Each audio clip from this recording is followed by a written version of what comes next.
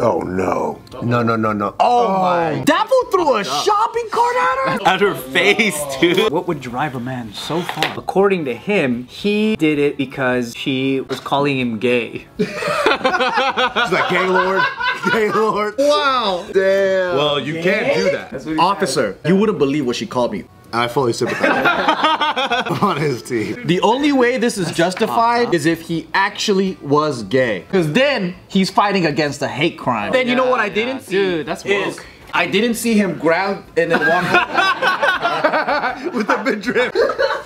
fucking bitch! Hey, your hips move. Ow, my fucking hands! Still a character? I mean, as a guy, we all can identify with what he was going through a little bit. I fought somebody because they called me gay. For real? I haven't. I was trying to be cool, man. I, I was trying to sell it.